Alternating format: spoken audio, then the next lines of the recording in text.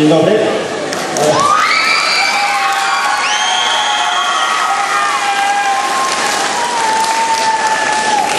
Nie będę tak śpiewać, nie będę tak grać na prądce, ale coś wam ciekawego powiem. Więc e, zdecydowałem się na następne dwa lata jeździć e, w Stali- w Staliborzu.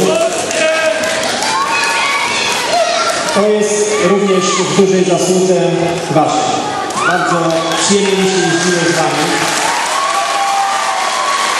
So, e, spotkałem, spotkałem się w swojej karierze sportowej z czymś, gdzie jako pierwszy po, e, podałem rękę panu prezesowi Komarnickiemu.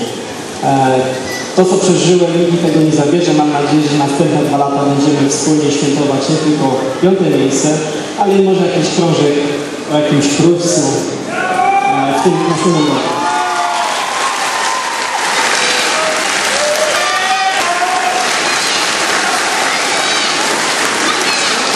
Jeśli chodzi, jeśli chodzi o moje serce jest w 100% z Wami, proszę się nie obawiać.